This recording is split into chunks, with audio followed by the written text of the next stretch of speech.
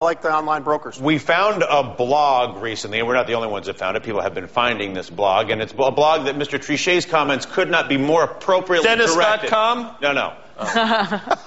it's called Sad Guys on Trading Floors. I remind you, Jean Claude Trichet offering moments ago the following comment Collect yourselves. We now have a blog devoted to photographs of so called sad guys on trading floors. Feel for them. Ah, the internet. I've been one of them. I mean, of all the things, you're going to take pictures of sad guys on trading No, floors? I'm not.